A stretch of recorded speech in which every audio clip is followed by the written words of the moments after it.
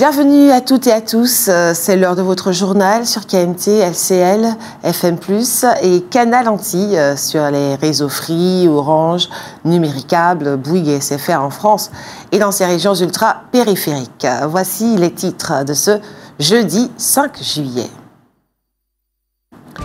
Une partie du port de Fort-de-France est actuellement immobilisée par une grève.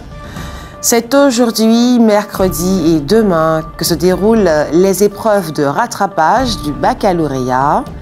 La question sondage continue. Selon vous, le transport public doit-il être étendu dans le nord et dans le sud avec des bus comme aujourd'hui? Ou vaut-il mieux faire un transport suspendu? Vos réponses dans un instant. Et en fin de journal, le savoir y réfléchir de Roland Laouché nous n'avons jamais été colonisés. Voilà pour les titres. Et pour commencer ce journal, euh, vous avez les cheveux crépus ou afrobites, il vaut mieux utiliser une crème lavante plutôt que du shampoing lorsque vous sortez de la mer. Parlons maintenant de la qualité de l'air. Euh, l'air aujourd'hui est mauvais, demain il sera dégradé. Je vous le disais en titre, euh, une partie du port de Fort-de-France est actuellement immobilisée par une grève. Il s'agit du secteur porte-conteneurs à la pointe des Grives. Des négociations entamées hier ont été interrompues. Les grévistes réclament notamment le départ du directeur général qui, pourtant, a la réputation d'avoir été un bon gestionnaire de ce port. Les porte-conteneurs sont actuellement dirigés vers la Guadeloupe. Et c'est aujourd'hui, mercredi et demain que se déroulent les épreuves de rattrapage du baccalauréat pour les élèves qui ont obtenu entre 8 et 9,9 à l'épreuve écrite. D'abord 20 minutes de préparation sur le thème imposé par le jury. Ensuite, 10 euh, minutes pour faire une présentation et 10 minutes d'échange avec le jury. Les résultats sont disponibles l'après-midi même du jour où sont passés les oraux. La sixième édition du Salon du Retour, organisée par l'association Allez Virer, va avoir lieu les 7 et 8 juillet à Madiana et du 10 au 13 juillet en ligne. À cette occasion, pour la quatrième fois, un prix va récompenser deux Martiniquais qui sont revenus au pays. Neuf candidats sont en lice, Stéphie Naudin et Jennifer Losange, cofondatrices de Pour bien-être Timoun, Bruno Sainte-Rose, ingénieur au sein de l'organisation, de Océan Cleanup, et Laura Cadas, fondatrice du Mediapan caribéen, United States of the Caribbean, Grégory Wana, fondateur de Yécri, la boxe Pays des enfants, Antoine Herry Charles Alfred et Mascha Viersac, cofondateur de La Pâtisserie Eri, Roxane de Growway et Johan Cabanet, cofondateur de Zachary Brunch and Coffee. Il a suffi d'une rencontre avec le maire et de quelques heures de travaux sur une barrière pour que cesse la grève entamée par le personnel qui assure la sécurité du Festival culturel de Fort-de-France mais il avait dû, pour obtenir cela, se mettre en grève. Le festival culturel de la ville de Fort-de-France va donc se dérouler tout à fait normalement. Le gouvernement estime que depuis le 1er juillet, l'épidémie de Covid n'existe plus, même si la maladie est toujours surveillée. En Martinique, il y a un seul cas sévère euh, qui nécessite une hospitalisation. Le saviez-vous, en Martinique, 50% des établissements scolaires sont en éducation prioritaire. Cela signifie qu'il accueille des élèves qui sont en grande difficulté sur le plan social. Ils ont pour cela des moyens spécifiques. Mais, de surcroît, il existe également des établissements scolaires qui ne sont pas classés comme étant en éducation prioritaire mais qui accueillent cependant nombre d'élèves en grande difficulté sur le plan social et scolaire. C'est pour leur donner les moyens nécessaires que la rectrice a signé au début de la semaine quatre contrats locaux d'accompagnement avec un ensemble d'établissements scolaires. Et c'est demain, jeudi 6 juillet, que va se réunir la commission interministérielle des Outre-mer, SIOM, présidée par la première ministre elle-même. C'est l'occasion pour les Outre-mer de porter au plus haut niveau de l'exécutif toutes leurs revendications et toutes leurs propositions. On le sait, le président du conseil exécutif de la collectivité territoriale de Martinique attend beaucoup de cette euh, commission.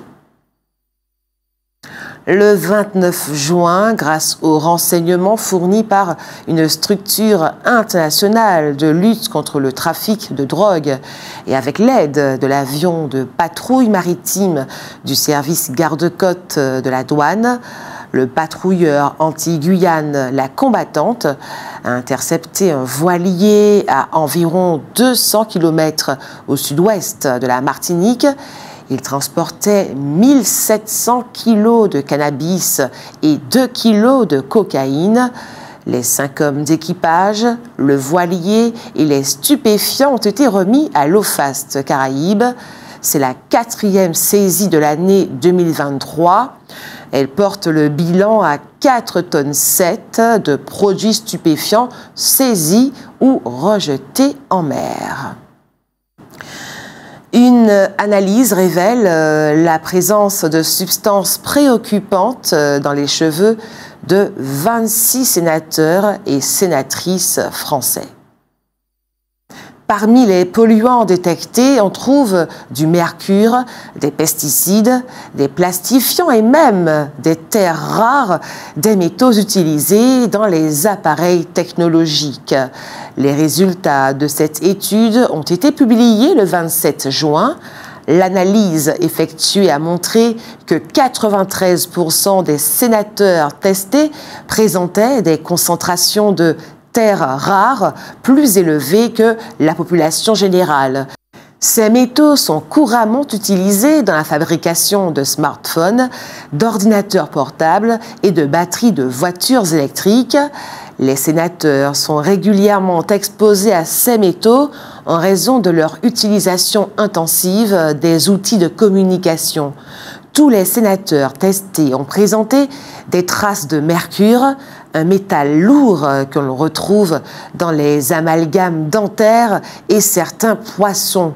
Des résidus de pesticides ont également été détectés chez l'ensemble des élus. 45 produits différents tels que des herbicides, des fongicides et des insecticides ont été identifiés, dont un pesticide interdit en Europe depuis 2008, le carbofurant. De plus, 69% des sénateurs ont montré la présence d'un plastifiant utilisé pour rendre les plastiques plus souples. La sénatrice euh, Angèle Préville, qui a initié cette étude, souligne euh, qu'il s'agit d'une alerte. Selon elle, si ces substances sont présentes dans leurs cheveux, cela signifie qu'ils sont contaminés. Cependant, les résultats de l'analyse, excepté pour les terres rares, sont cohérents avec ce que l'on observe généralement dans la population. Ils témoignent d'une exposition répétée et régulière à des polluants présents dans l'alimentation, les produits cosmétiques et d'hygiène. Reste que jamais dans l'histoire de l'humanité, l'espérance de vie n'a été aussi longue. Peut-être est-ce parce que le corps humain a la capacité de s'adapter, de domestiquer les agressions dont il est victime. 81,1%, c'est le taux de réussite au bac cette année. C'est deux points de plus que l'an dernier. Le taux est de 88,8% pour le bac général. Et c'était aujourd'hui, mercredi 5 juillet, de 8h à 17h, euh, le centre de formation d'apprentis BTP de Ducos organisait dans ses locaux son séminaire d'entreprise euh, Bâtir ensemble l'avenir du BTP. Il s'agissait de dresser un état des lieux du BTP en Martinique, de porter à la connaissance de chacun les dernières avancées dans ce secteur et d'imaginer l'avenir. Notons à ce propos que la Fédération française du bâtiment lance un programme de formation certifiante au profit des entreprises du BTP des formations financées à 100% grâce aux fonds européens. Depuis une vingtaine d'années, on voit se développer des initiatives visant à organiser la coopération internationale en matière de recherche et de développement en santé, comme ça avait été le cas dans la lutte contre le VIH. Des structures appelées PDP ou Partenariat pour le développement de médicaments ont émergé en réaction aux inégalités d'accès au traitement. À la fin des années 1990, en effet, 90% du budget recherche des groupes pharmaceutiques était consacré aux 10% les plus fortunés de la planète. Les maladies tropicales comme le paludisme, la tuberculose ou la maladie du sommeil, qui représentaient plus de 10% de la mortalité mondiale, n'attiraient, elles, qu'à peine 1% des investissements. Bien entendu, les PDP ne sont pas suffisamment puissants pour concurrencer l'industrie pharmaceutique, mais ils peuvent agir en partenariat avec des géants comme Johnson Johnson ou Sanofi, mais également avec des États, des fondations et des organisations non gouvernementales. Ils permettent ainsi d'orienter une partie des investissements en recherche vers des marchés considérés comme non rentables par les labos sur lesquels ils n'iraient donc pas seuls. C'est ainsi qu'en 2003, DNDI, ou Initiative Médicaments contre les maladies négligées, a vu le jour sous l'impulsion conjointe de Médecins sans frontières et de l'Organisation mondiale de la santé, en collaboration avec des laboratoires du Kenya, du Brésil, d'Inde, de Malaisie et de l'Institut Pasteur en France. Son but, trouver des traitements à bas coût contre les maladies qui sévissent dans les pays pauvres et causent chaque année des dizaines de milliers de décès. Il peut s'agir de chercher à combiner entre elles des molécules déjà existantes afin de gagner en efficacité ou de réduire les effets secondaires, ou bien on tente de découvrir une nouvelle molécule l'ONG joue en quelque sorte le rôle de chef d'orchestre en mettant autour de la table une palette euh, d'acteurs différents pour chaque projet. Institutions internationales, OMS ou Nations Unies par exemple, organisations publiques, États, Union européenne, laboratoires, donateurs privés comme la Fondation Bill et Melinda Gates ou Wellcome Trust, mais aussi associations et chercheurs participent au projet. En 20 ans, DNDI a réussi à développer huit nouveaux traitements. Parmi ses plus belles victoires, le fexinidazole, premier traitement oral contre la maladie du sommeil. Développé avec Sanofi, il est distribué gratuitement, essentiellement en République démocratique du Congo, où se concentrent 85% des malades et donne l'espoir d'endiguer un jour la maladie. Autre réussite, le programme FACT de recherche sur le paludisme, cofinancé par MSF, l'OMS et l'Union européenne. DNDI a exigé que le traitement soit vendu moins d'un dollar et qu'il ne puisse pas être breveté.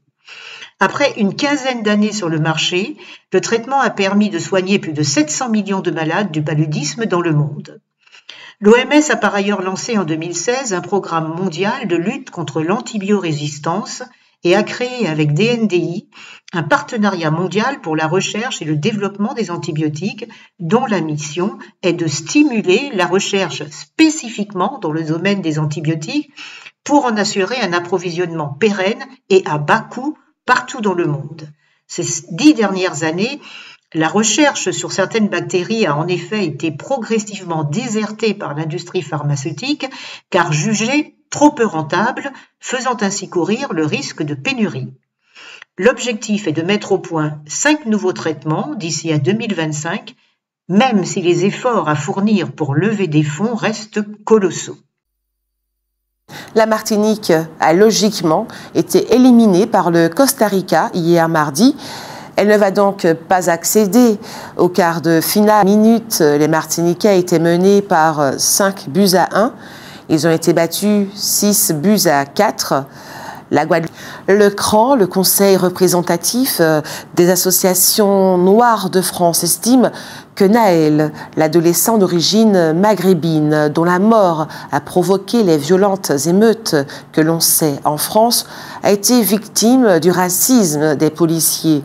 Il demande la mise en examen également du deuxième policier et annonce qu'il se portera partie civile dans le procès qui aura lieu. La Martinique compte euh, une centenaire de plus. Elle s'appelle Pauline Amalou. Elle est lamantinoise et elle a fêté son centième anniversaire samedi dernier, entourée de toute sa famille et notamment de ses deux filles, euh, Marie-Ange et Guylaine. Passons à notre sondage. Selon vous, le transport, le transport public doit-il être étendu dans le nord et dans le sud avec des bus comme aujourd'hui? Ou vaut-il mieux faire un transport suspendu? Nous vous écoutons. Sondage.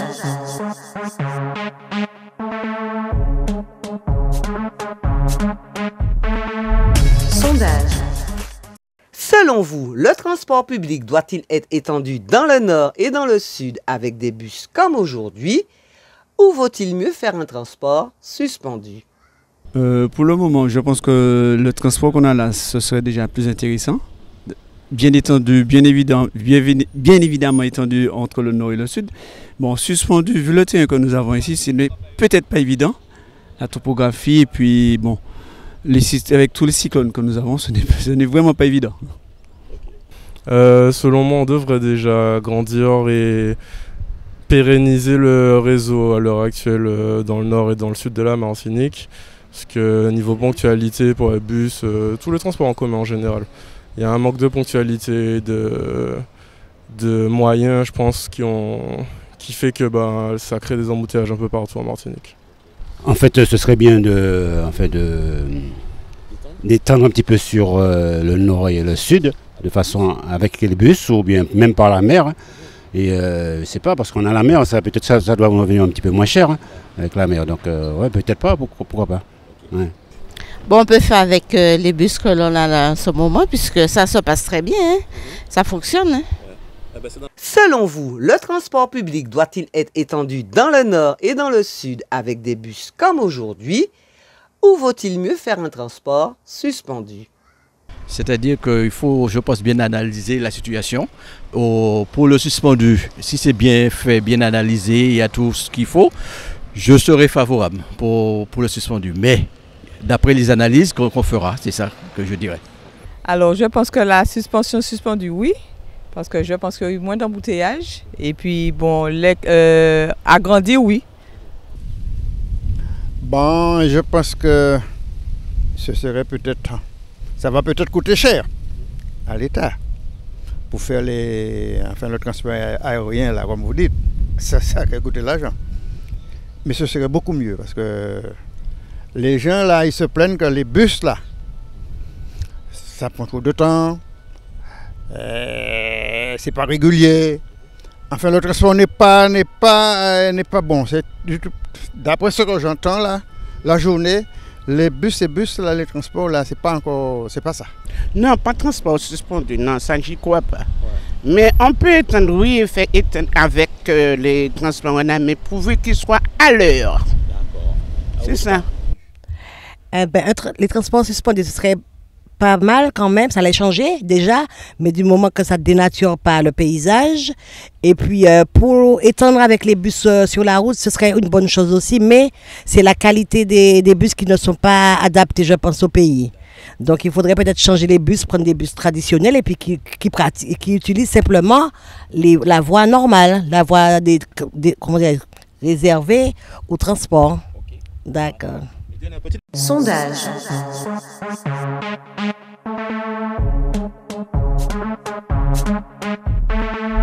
Sondage.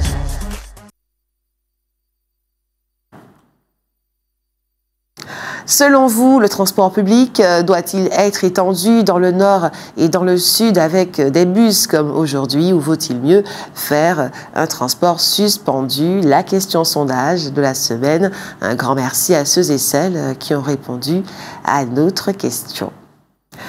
Et maintenant, le savoir et réfléchir de Roland Laouché. Nous n'avons jamais été colonisés.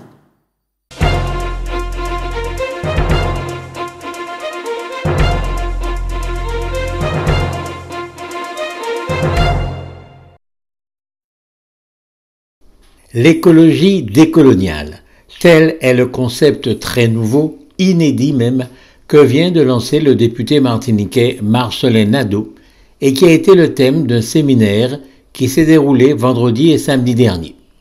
On attend avec intérêt les conclusions de ce séminaire auquel ont participé plusieurs intellectuels ou personnalités politiques martiniquais. Mais le nom de ce séminaire, cette terminologie, malgré son originalité, démontre bien que l'on arpente encore les chemins du discours convenu de la gauche depuis plus de 70 ans, à savoir que nous avons été colonisés par la France et qu'il faut donc lutter pour la décolonisation. La vérité, c'est que nous n'avons pas été colonisés par la France. Nous avons été créés de toutes pièces par la France. C'est dur à dire, c'est dur à admettre, mais les faits sont là. Et les faits sont têtus. Les Français sont arrivés en Martinique, ils ont exterminé les Caraïbes qui s'y trouvaient, ils en ont âprement disputé la possession avec d'autres colonisateurs. Ils l'ont peuplé essentiellement d'Africains importés d'Afrique, dans des conditions insupportables, l'esclavage, et d'Hindous venus d'Inde. C'est ainsi que nous, les Martiniquais, avons été créés. Ça n'a rien d'extraordinaire. Bien des peuples de par le monde se sont créés comme ça, dans la douleur, dans la guerre, dans les mélanges consentis ou pas. Et la France aussi, lorsque les Francs ont envahi la Gaule, alors romaine. Un pays est colonisé lorsqu'il existe avec un peuple une gouvernance, une civilisation, et qu'il est soudain agressé et vaincu par un autre peuple qui lui impose sa loi et ses lois. Il n'existait pas de civilisation martiniquaise et de peuple martiniquais qui ont été piétinés par une civilisation française. La civilisation martiniquaise s'est forgée en Martinique, en Martinique même, dans les conditions que l'on sait, et elle est un mélange dans lequel la civilisation française occupe une place prépondérante, à tel point que nous sommes français. Voilà les faits. Nous ne sommes pas une colonie, nous n'avons jamais été une colonie. Mais, mais nous dit-on, le gouvernement agit avec nous comme si nous en étions une. Et sans doute certains observateurs pourraient, en disant cela, donner des exemples précis de cette réalité-là. Mais d'autres observateurs, tout aussi compétents, pourraient tout aussi bien démontrer que non, que la France n'agit pas avec nous comme un pays colonisateur agit avec une colonie. Le débat est donc infini. Et s'il est infini, c'est parce qu'il faut inlassablement revenir à la phrase de Franz Fanon, une phrase selon nous particulièrement importante. Chaque génération doit, dans une relative opacité, découvrir sa mission, la remplir ou la trahir. Découvrir sa mission dans une relative opacité. Ça, c'est la première chose. Et ça, ce n'est pas forcément le plus facile. Prenons un exemple. Les Noirs américains, sortis de l'esclavage, ont rêvé de retour en Afrique. Ils y ont créé un pays de toutes pièces, le Libéria. Mais ils se sont vite rendus compte qu'ils s'étaient trompés. Alors, ils ont choisi une autre mission. Et ils ont fini par projeter un nègre à la tête des États-Unis d'Amérique pendant deux mandats successifs. Ça n'a pas rendu riches tous les Noirs d'Amérique, ça n'a pas éliminé tous les policiers racistes, mais tous les observateurs en sont d'accord, la discrimination a reculé aux États-Unis d'Amérique, même si elle n'a pas disparu, et des Noirs peuvent s'y occuper des fonctions extrêmement importantes. En ce moment même, le patron des démocrates à la Chambre des représentants est un Noir. Est-il possible d'imaginer que délaissant le combat contre le colonialisme, les ultramarins qui le mènent entreprennent de faire élire un ultramarin à la tête de l'État français, avec pour mission de gommer les éventuelles discriminations dont nous sommes victimes. Ça a l'air d'un pari fou, mais, mais pas forcément plus fou que d'obtenir la décolonisation d'un pays qui n'a jamais été colonisé. Après le savoir et réfléchir de Roland Laouché, la rubrique santé nous parle de vitamine D. Des chercheurs affirment qu'il existe une relation entre la maladie d'Alzheimer et la vitamine D. Au cours d'une étude, le taux sanguin de vitamine D a été mesuré chez 1600 personnes âgées de plus de 65 ans et initialement indemnes de tout trouble cognitif. Au cours du suivi qui a duré 6 ans, 171 participants ont développé une démence et 102 une maladie d'Alzheimer. Les chercheurs constatent ainsi que chez les personnes qui avaient les taux de vitamine D les plus bas, le risque de développer une maladie d'Alzheimer ou un autre type de démence était augmenté de 53%. Quant au risque de développer une forme sévère de démence, il est accru de 125% chez les sujets ayant des taux de vitamine D les plus bas par rapport à ceux dont les taux sont normaux. Reste à vérifier si le fait de remonter le taux de vitamine D suffit à diminuer le risque de maladie d'Alzheimer et à évaluer les stratégies les plus efficaces. En effet, si nous fabriquons la majeure partie de notre vitamine D en exposant modérément 10 à 20 minutes par jour notre peau au soleil, cette capacité de synthèse de l'organisme est bien connu pour diminuer progressivement avec l'âge. Une autre façon de faire le plein de vitamine D est de consommer des aliments riches en cette vitamine, poissons gras, des œufs, du lait, du fromage, ou encore de recourir à un complément alimentaire. L'enjeu est conséquent, car en raison du vieillissement de la population, on s'attend à un doublement des maladies d'ici 2050. À ce jour, on estime à 44 millions le nombre de personnes touchées dans le monde. Et c'est la fin de ce journal. Merci à vous de l'avoir suivi. Merci de votre fidélité. Ce journal a été réalisé avec la participation de Jordan Adélaïde, Jean-Michel Césaire, Jenny Georges, Alain Jean-Paul, Waya, Pierre Laouché-Vitz, Marie-Josée Joseph, Simao Laouché et Roland Laouché. Il est diffusé à 18h30, 20h, 22h et demain 6h25 en multidiffusion sur Canal Antilles, sur les réseaux Free, Orange, Numéricable, Bouygues SFR en France et également sur notre site kmttélévision.fr. Passez une agréable soirée, je vous dis euh, à demain et que Dieu garde la Martinique.